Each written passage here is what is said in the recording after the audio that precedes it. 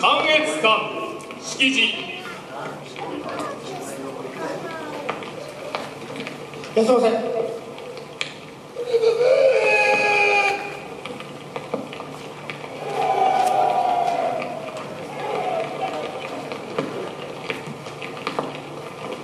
本日は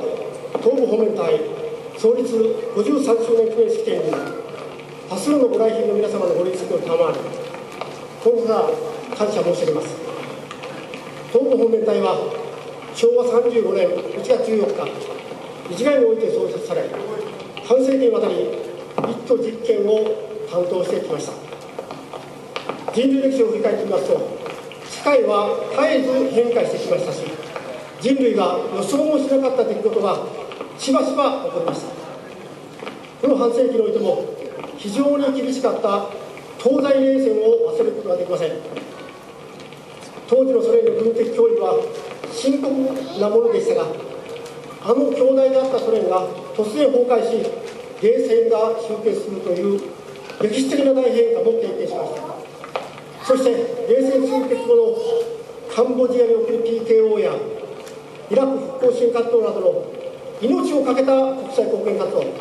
阪神・淡路大震災中越地震などに対する災害派遣そして何よりも昨年の東日本大震災に対する災害派遣などの多様な任務を遂行してきました。そして現在世界列国の経済力軍事力を中心としたパワーバランスにおいて明らかに大きな歴史的変化が起こっています。唯一のスーパーパワーと言われてきた米国の影響力に明らかな変化がある一方で中国の軍的経済的政治的台頭は目覚ましいものがあり中国はその高圧的傾向特に尖閣諸島をめぐる挑発的行動などに鑑み我が国にとって最も警戒しなきゃならない国家となっています。また北朝鮮およびロシアについても引き続きその動向に注目していかなければなりません。そしてアジア太平洋地域は経済的発展などによりその重要性を世界の誰もが認める時代になってきました。